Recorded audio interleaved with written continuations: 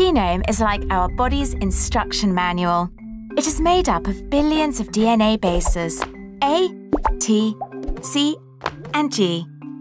These DNA bases are organized in a specific sequence. If the sequence goes wrong, it may cause certain diseases. In that case, we need to look for the mutation in the sequence. Could you tell which one looks different? Here it is. And here, could you see which one looks out of place? Bingo, it's different here. What about now? Could you spot the difference? Challenging, isn't it? There are over 3 billion DNA bases in our body.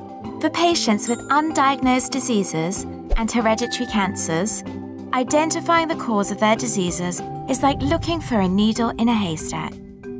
Therefore, we need to count on your support to gather more data for analysis. Only then will we have the chance to identify the disease causing variants. Unlock the genetic codes.